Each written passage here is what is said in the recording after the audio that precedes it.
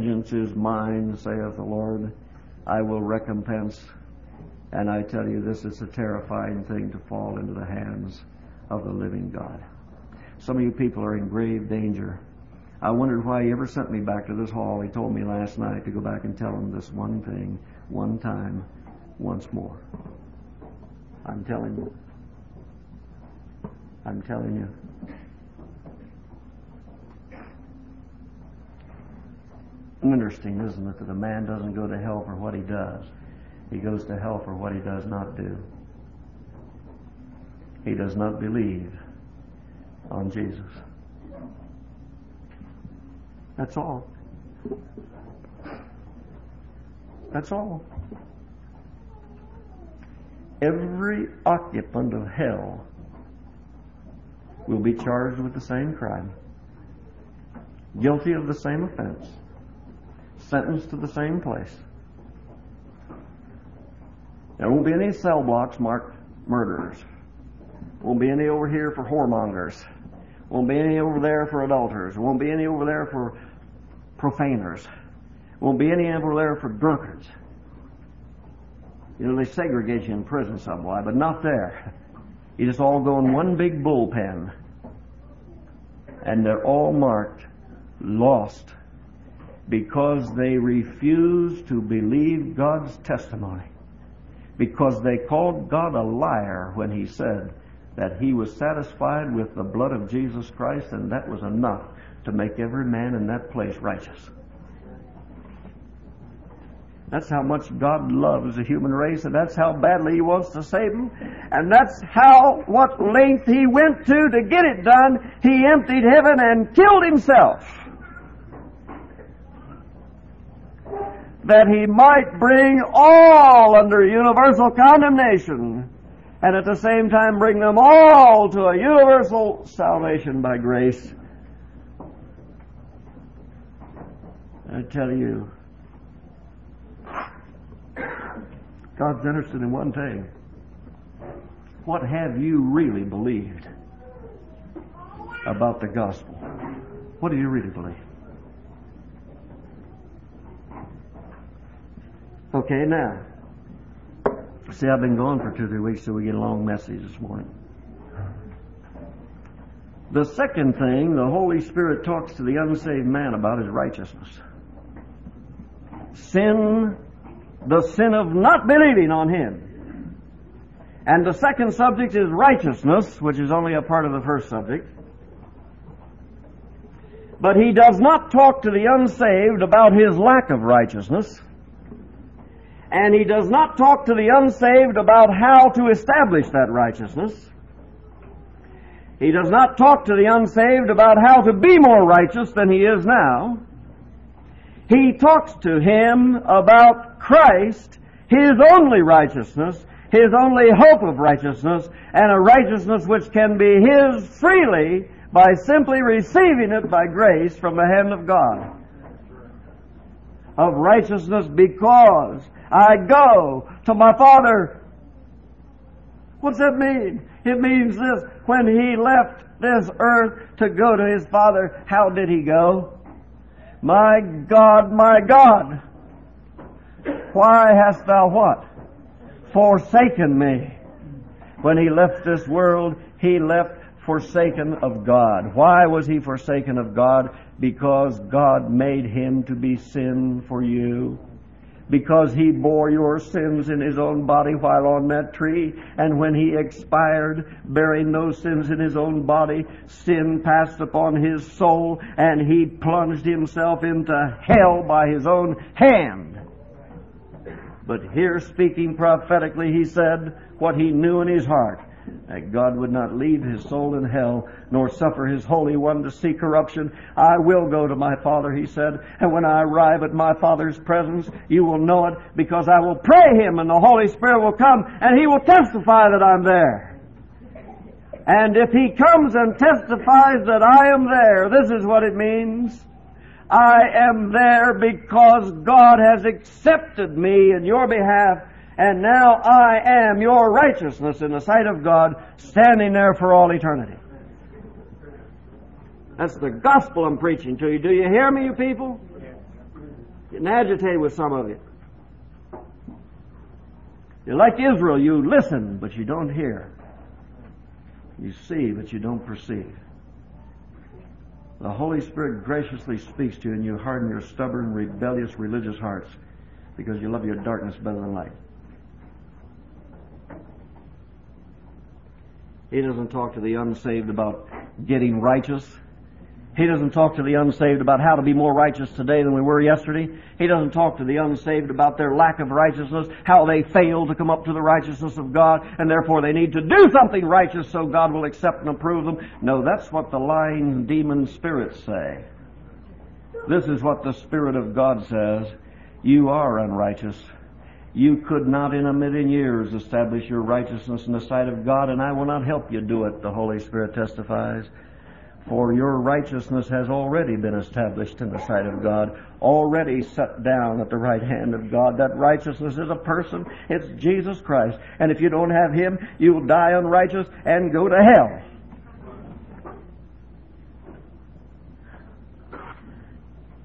That's what He testifies about. Of righteousness because I go to my Father. And He testifies of judgment. But he doesn't talk to the unsaved about the great white throne, and he doesn't talk to them about the books that shall be opened. And he doesn't talk to them about a stern God sitting on the seat of judgment and saying, Separate from me into everlasting darkness. The Holy Spirit never convicts the unsaved of the great day of judgment. His testimony is to one effect. The day of judgment is already past for those who have believed. The day of judgment is not out in the future, it's 1900 years in the past. Jesus went to judgment for you. He said, If I be lifted up, I will draw all men unto myself, this signifying what death he should die. And when he was raised on the cross of Calvary between heaven and earth, and he cried, I'm forsaken of God, I'm a worm, I'm lost, and I'm perishing under the sins of the world. What was he doing? He had drawn the whole human race to himself, identified the whole family of Adam with himself, took their place as the representative head of that family, the Son of Man, and died in the place and in the stead of every human being who ever lived and ever will live. When God sat down in judgment, He sat down at Calvary, and He spared not His own Son, but He delivered Him up for us all. Oh, my dear friends, the Holy Spirit, when He testifies, testifies not look forward to a coming day of judgment, look backward to a day that's already past. Look backward to the day when you appeared in judgment in the person of Christ and God sentenced you and sent you to hell and banished you from His presence. But praise God, raised you when He raised His Son and received you to glory and seated you in perfect righteousness forever and ever. That's the good news of the gospel. Shoot, that is good news.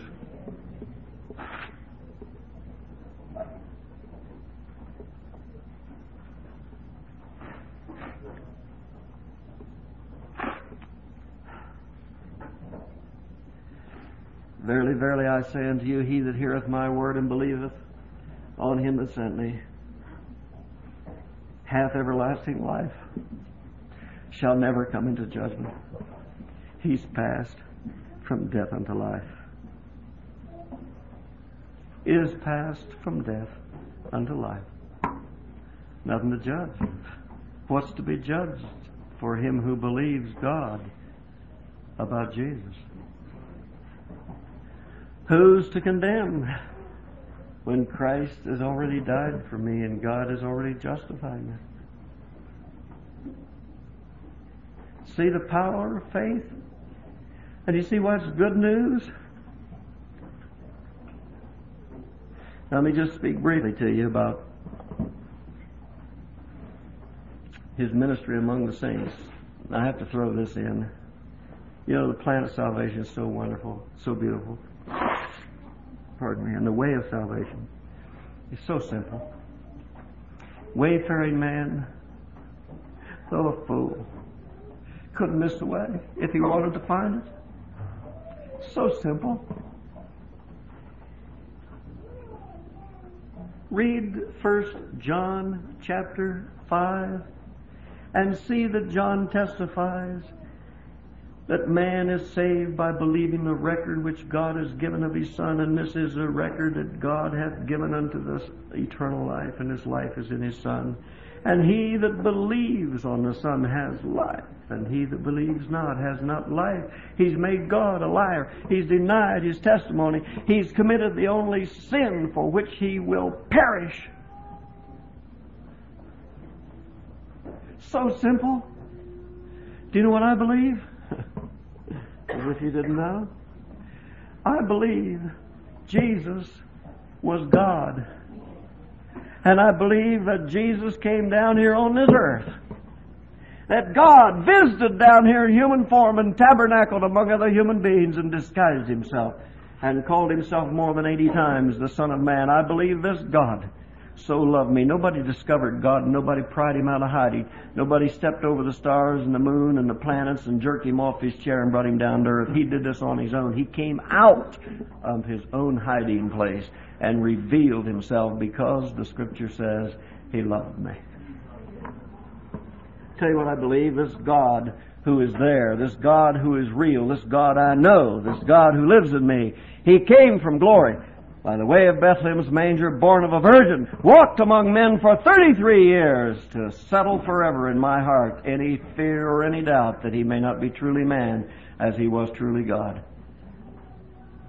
And at the end of 33 years, this precious God said the only way to bring me to himself was to take my place and to receive himself the punishment he had set aside for me to bear himself the wrath that was due to me by nature. And he ascending to the cross of Calvary, the most glorious stage of all earth's history,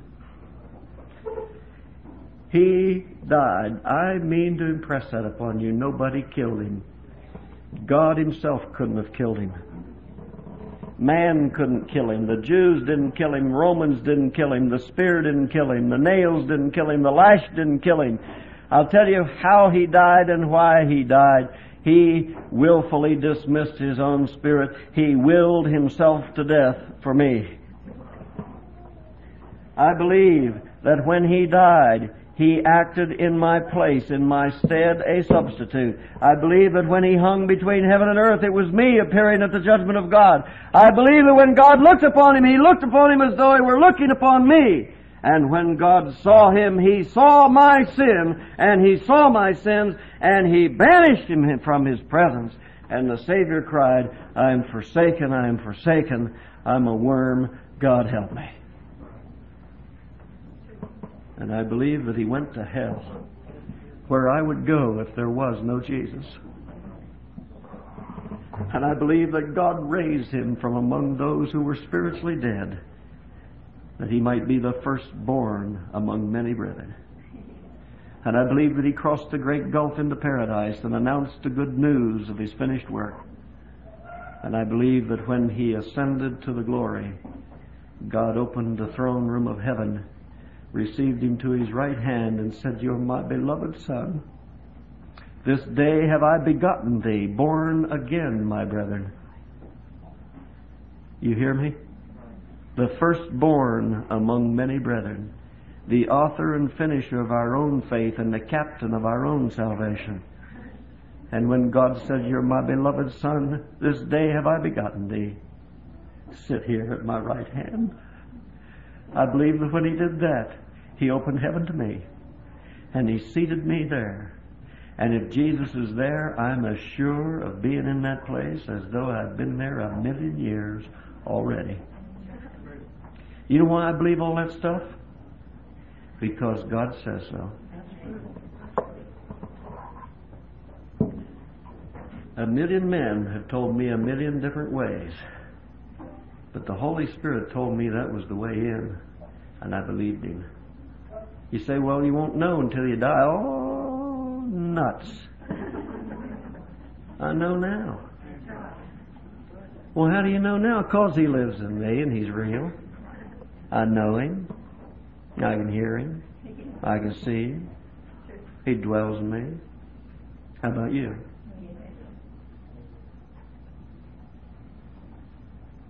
You may not like me. You may not like the way I look. You may not like the way I act. You may not like the way I talk.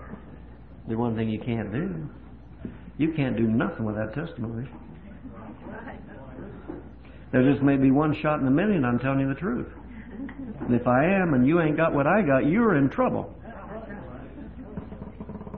So if you got it, you know, you ain't going to begrudge me having it, are you? And if you don't have it, it's you that's worried, not me. Because I'm not worried. Now, I want to talk to you briefly. Have we filled up one tape yet? Okay, good. Huh?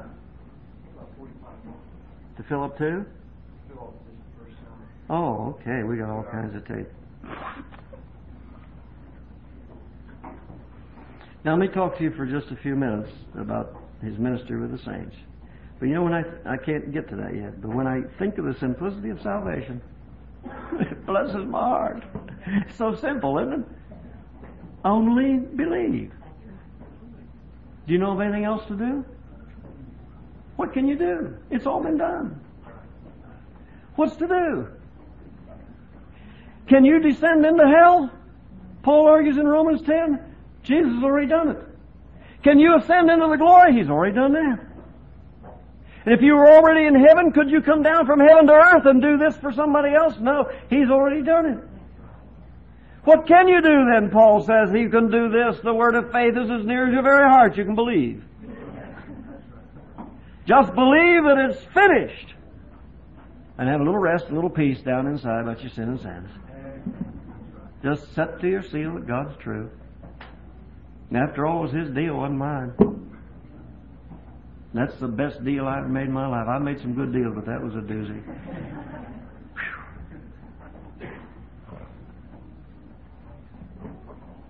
Going down the highway the other day, you, you think all I do is go down the highway. and that's about right. Either go down or up. And I'm driving along, and I've got the radio on, and I hear the news commentator, and he says, the world has gone into shock and into mourning because the king is dead.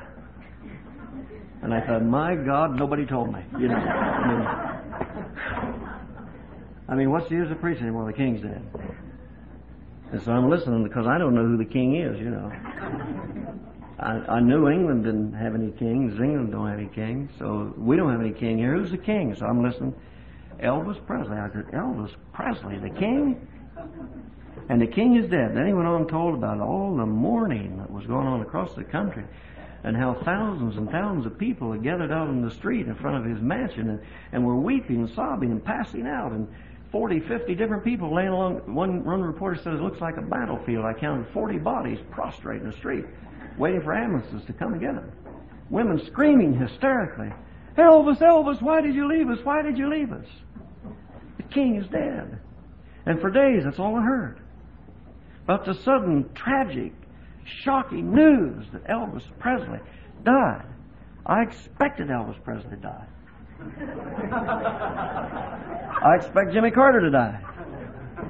And believe it or not, even though he may not, Richard Nixon will die.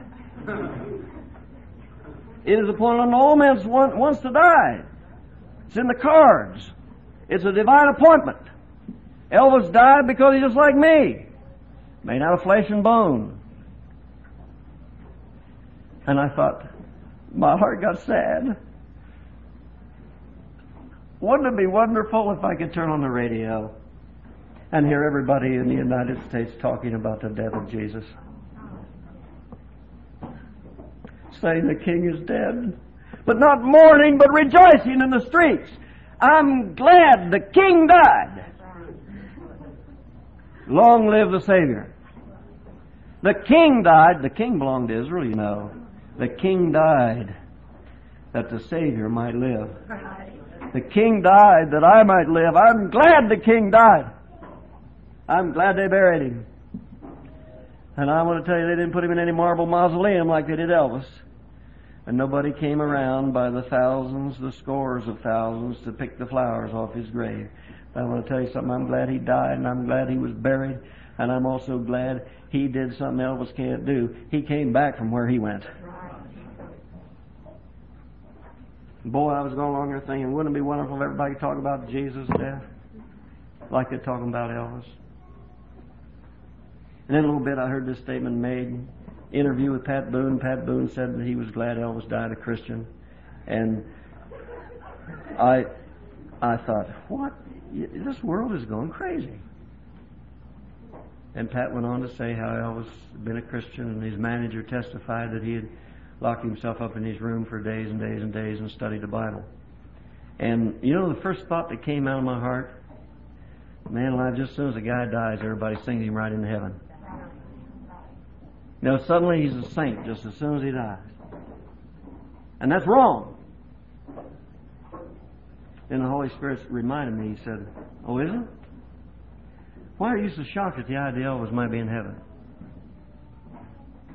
I said, well, I said, well, I don't know. Just, you know, I hate to think I got to listen to that old, you know.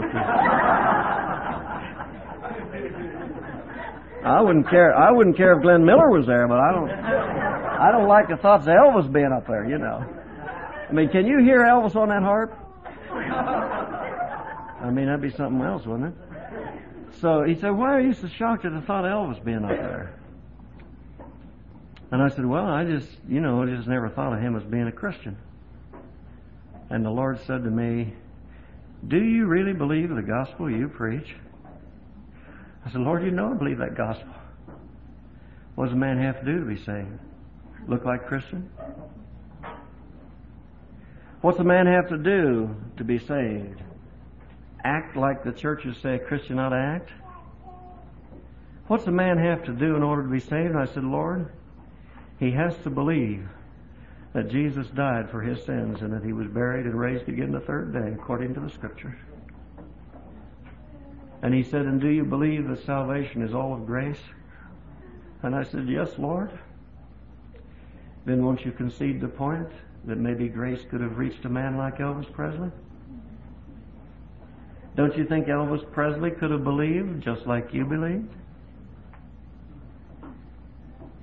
And then he reminded me of something I didn't like too well. He said, You know, Herbie, if you die today and they print your obituary in the Parkersburg News, there's going to be an awful lot of people who say, If he's in heaven, we're all going to be there. Because you don't look like Christians, to an awful lot of people.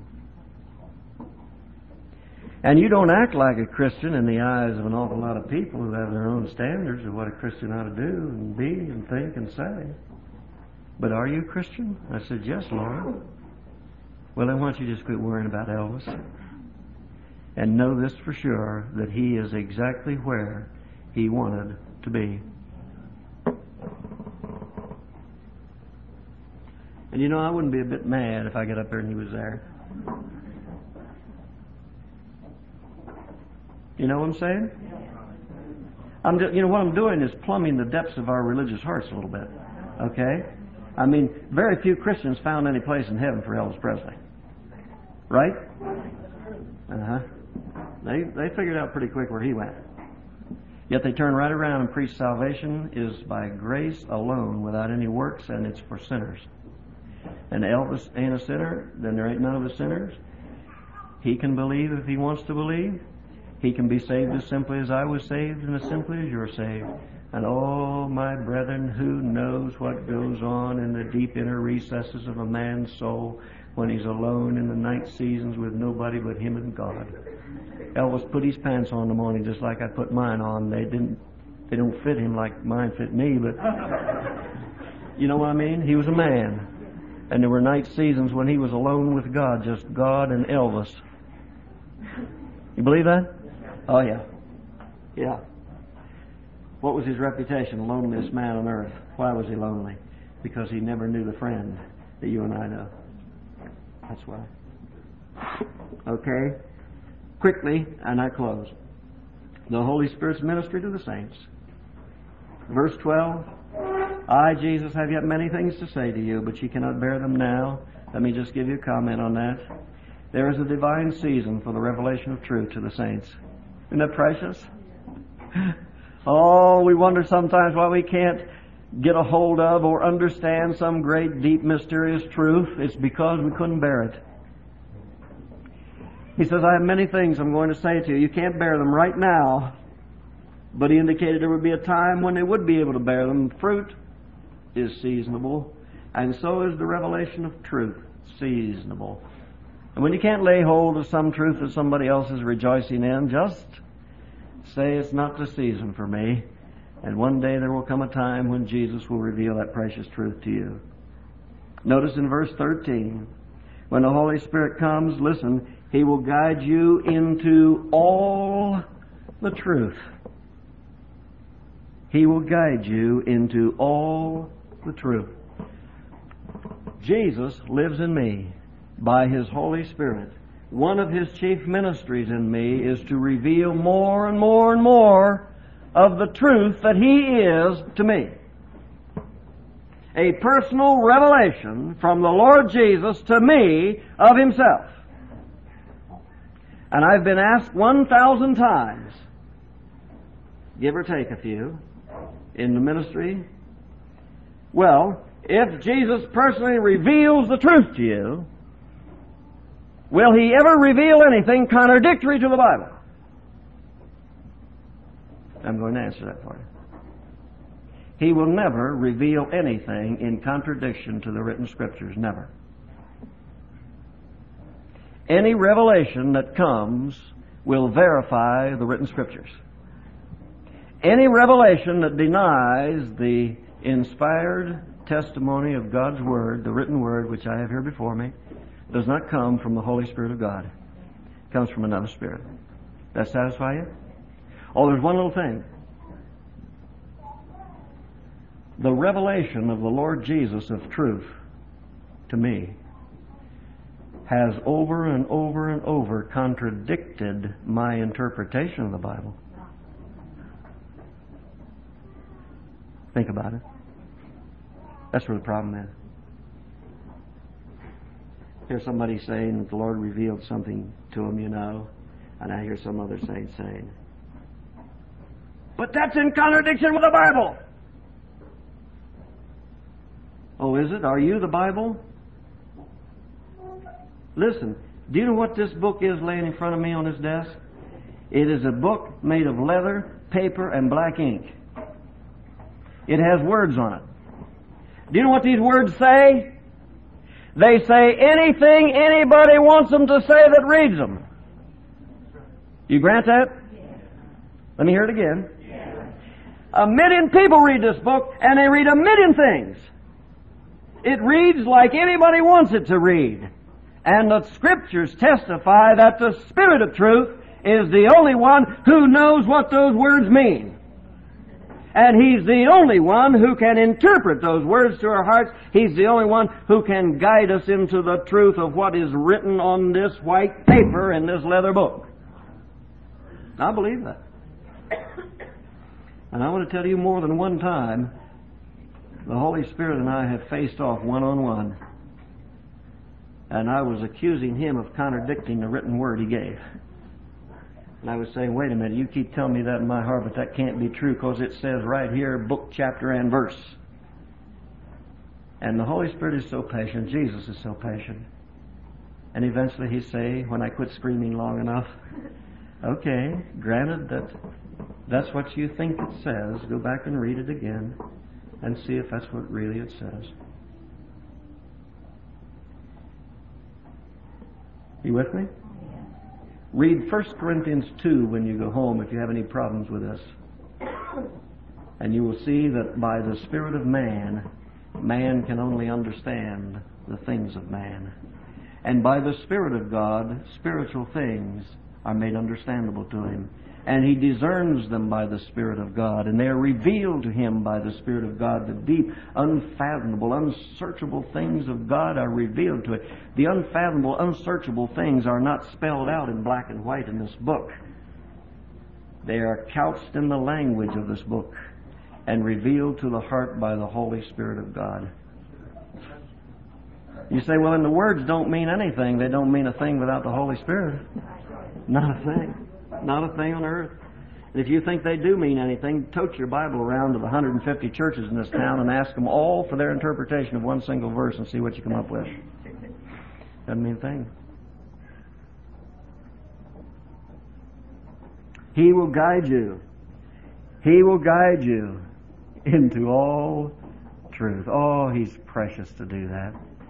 And you know, it isn't because the Bible is written in, in, in uh, difficult language. The English is beautiful, and anybody who can read English can certainly understand what's written there. Why is it then we have so many understandings of what's written there?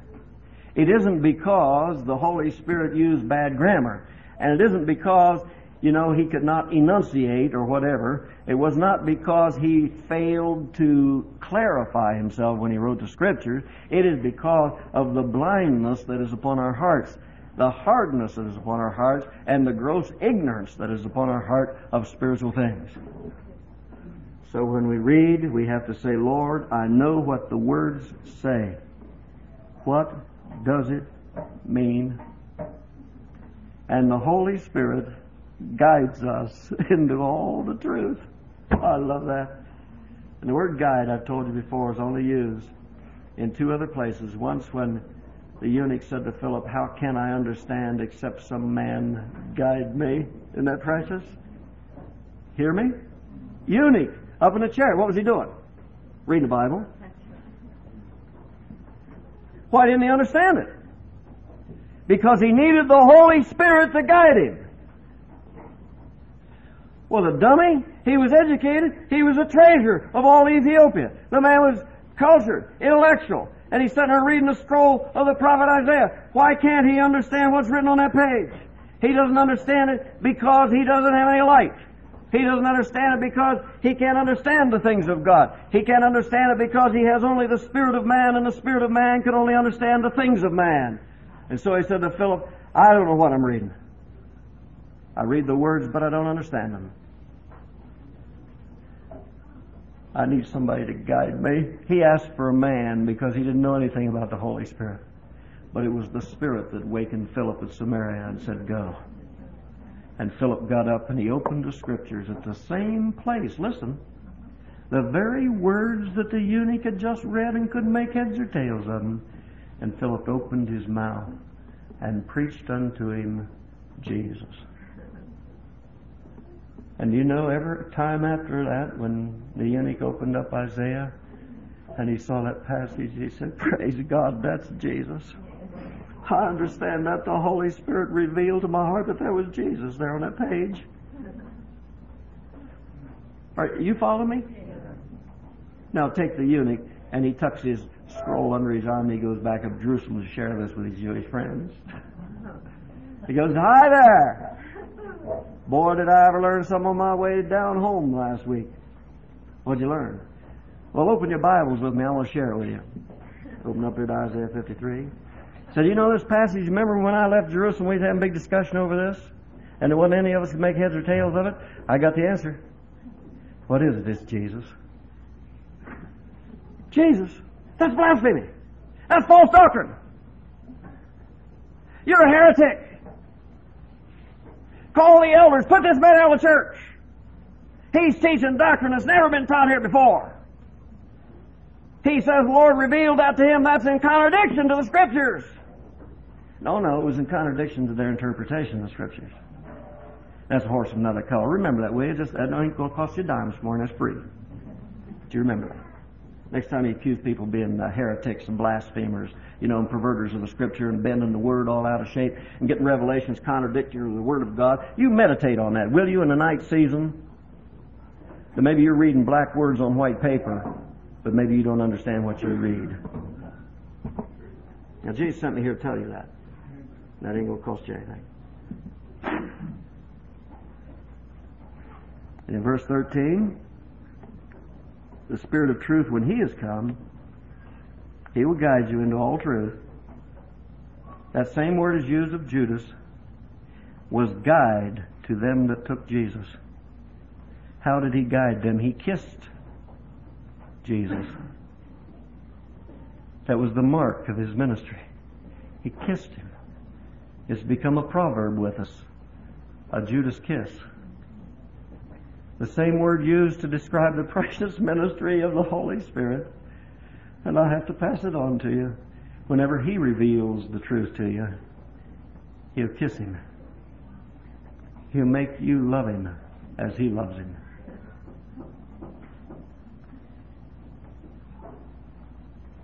Verse 13 says, He shall not speak of himself. That means he shall not speak out of a source from himself. The Holy Spirit is not some independent, separate revelation of truth from Jesus. Here is what the Holy Spirit says to us. He tells us only what he hears Jesus say. Read it there in that passage. Just as the Son only spoke while on the earth what he heard his Father say. He only passed on what he heard from his Father. The Holy Spirit will never give you any of His own words. He will always pass on to you exactly what Jesus says. And here's another part of His ministry. It will always glorify the Lord Jesus. That's the acid test of any doctrine. Does it glorify man or does it glorify Jesus? Does it exalt the Lord Jesus, make him bigger, more precious in your eyes? Or does it exalt man? Does, does it make his work bigger or does it make my work bigger? Does it make his righteousness more precious or does it make my righteousness more precious? Does it make him smarter or me smarter? What kind of a revelation is it? Does it glorify Jesus? If it doesn't glorify Jesus, it doesn't come from Jesus. It doesn't come from the Holy Spirit. He glorifies the Lord Jesus and every doctrine He preaches and every revelation He gives will do nothing more than magnify the finished work of the Lord Jesus, exalt the righteousness that Christ is, and praise God for the judgment that's already passed. That's what that doctrine will do, and that's what that revelation will give you. He will take all the things that belong to Jesus, and He will show them to you. And I close with some negatives.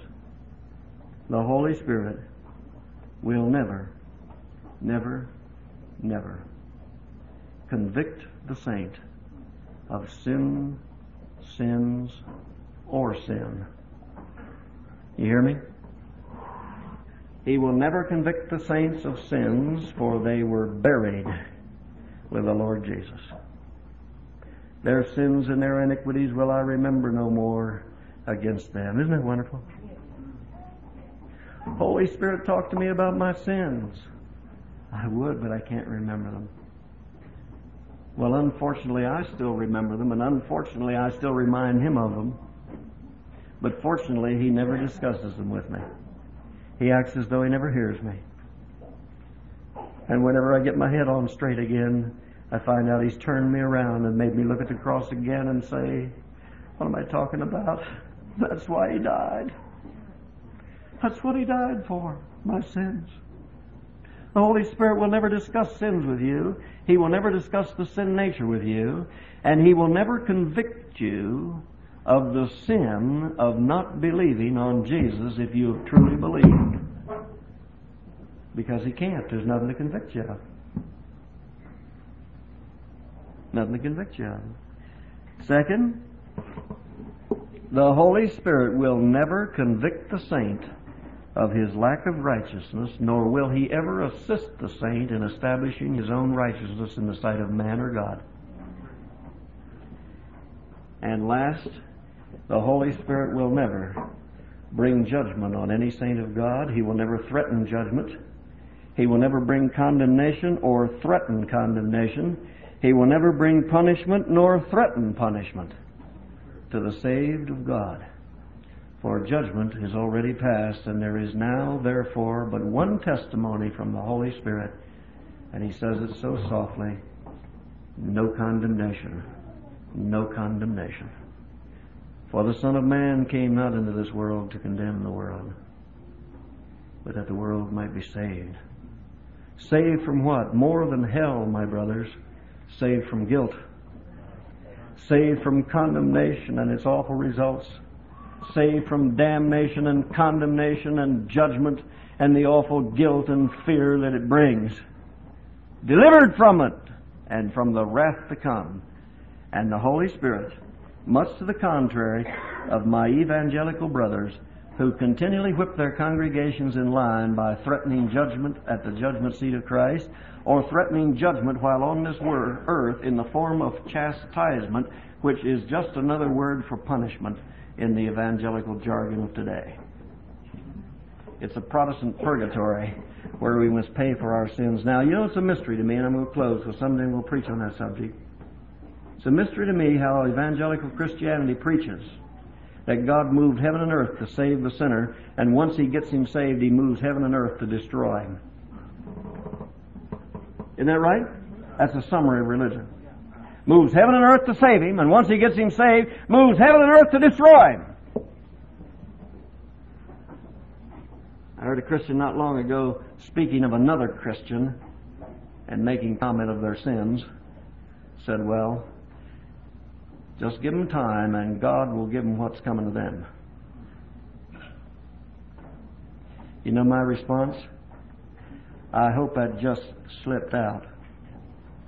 Because if it didn't, you don't believe nothing. Nothing. In you, T H I N, nothing. Lord bless you.